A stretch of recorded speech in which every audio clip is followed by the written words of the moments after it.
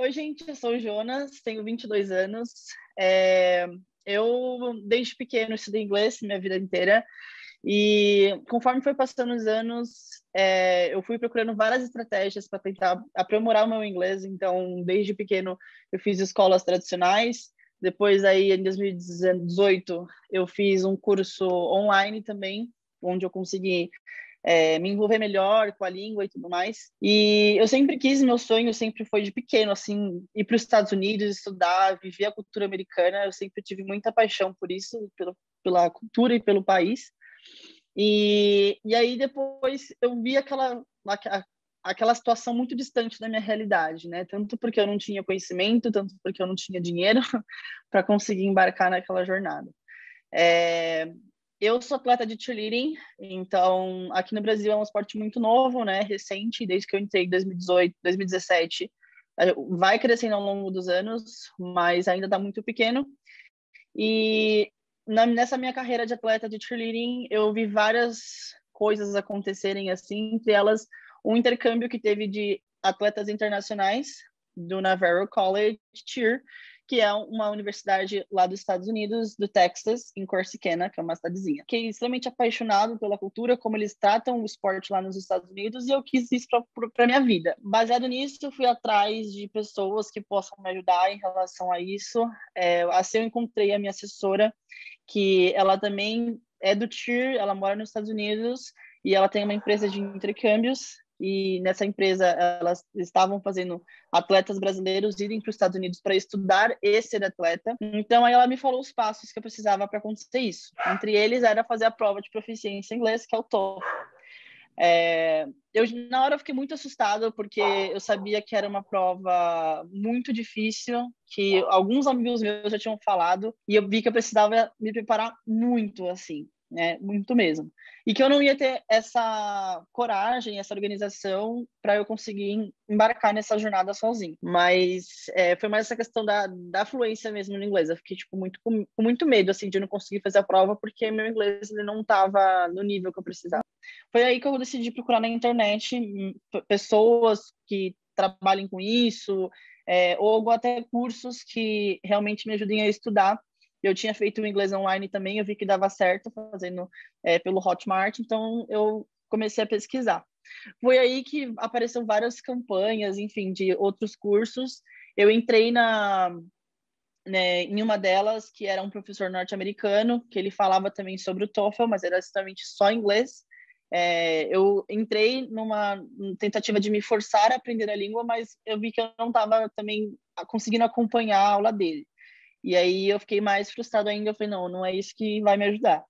E aí eu comecei a procurar mais até que surgiu alguns no, no Instagram uh, um vídeo da Eli e aí ela falando sobre a preparação dela, como que funcionava, foi aí que eu me inscrevi no, pelo, pelo e-mail e aí ia começar um intensivão de acho que uns quatro dias que ela ia falar sobre como preparar para o TOEFL, o que era o TOEFL, como que acontecia o curso preparatório Lissato. Então eu decidi entender melhor sobre, né? Aí eu fiz os três intensivões, eu fiz o teste lá de, de nivelamento, é, eu descobri que eu realmente precisava estudar mais e tudo mais. Eu vi também que tinha um suporte do grammar é, no curso dela, que era para quem não tinha o um nível ainda do inglês que precisava. Então, foi o que me confortou mais ainda, que além do, curso eu ia ter um, um suporte da língua em si, e, e aí ela falou umas questões de sonhos, de realizações pessoais. Então, assim, quando eu consegui entender que esse meu sonho, ele precisava de ajuda, que eu não ia conseguir chegar lá sozinho, e que isso, no final, esse investimento que eu ia fazer, esse tempo que eu ia gastar estudando, ele ia valer tudo a pena no final das contas, eu decidi fazer o curso. Foi quando aí eu chamei vocês, e aí teve todo aquele. Aí teve o, o, prepara, o, a, o planejamento, o né? O planner, cronograma. Aí eu segui direitinho o cronograma. Que aí depois, né, eu falei, meu Deus do céu, é 1.500 reais ali jogado no lixo, porque a prova é igual o dólar tá caro, né? Sim, sim. Então, eu falei, não, vou seguir certinho. Aí eu fiz todos os dias. E aí eu estudava todo dia horários variados, assim. Eu tinha o horário livre que eu tinha, eu estudava, sabe? Legal. E funcionou, funcionou para mim. Eu sempre mantinha a frequência. E aí eu segui esse cronograma certinho e foi aí que eu fiz a prova e consegui fazer. É, passei, agora já consegui fazer minha admission na universidade. Estou só esperando a resposta, acho que tudo vai dar certo e vou embarcar para o Texas é, em agosto, no final de agosto. Nossa, eu pulei de alegria. casa a gente fez uma festa aqui em casa. Eu falei para minha mãe, mãe, eu passei no TOEFL, não sei o quê. Aí ela começou a pular de alegria, não sei o quê, não sei o quê. Um investimento que vale a pena no final, né? É, aquela, aquele intensivão que você fez no começo, para mim falou tudo, tipo, que que aí você visou sonhos e falou do, do que do valor daquilo, né? Porque não é só uma preparação para você passar numa prova, é uma prova que você vai definir seu futuro, que você vai ficar fora do país, que você vai estar realizando um sonho.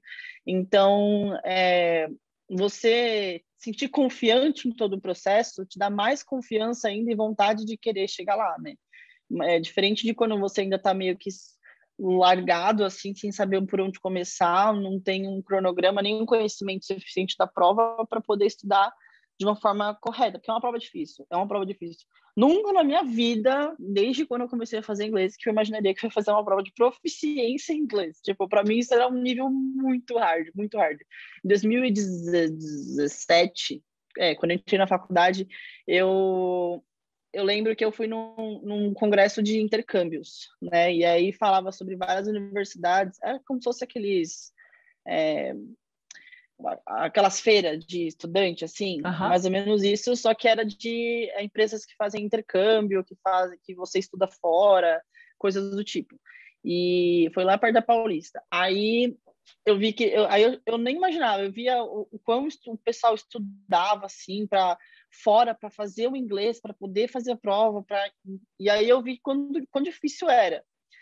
Então, meio que era muito distante isso para mim. Aí depois que eu, esses dias que eu parei para pensar, falei, nossa, eu lembro que naquela época eu fui, para mim era tão difícil, e agora eu fiz a prova e passei, sabe? Então, é, isso que me deixa mais gratificante. Então, com certeza, vale super a pena, assim, fazer o preparatório.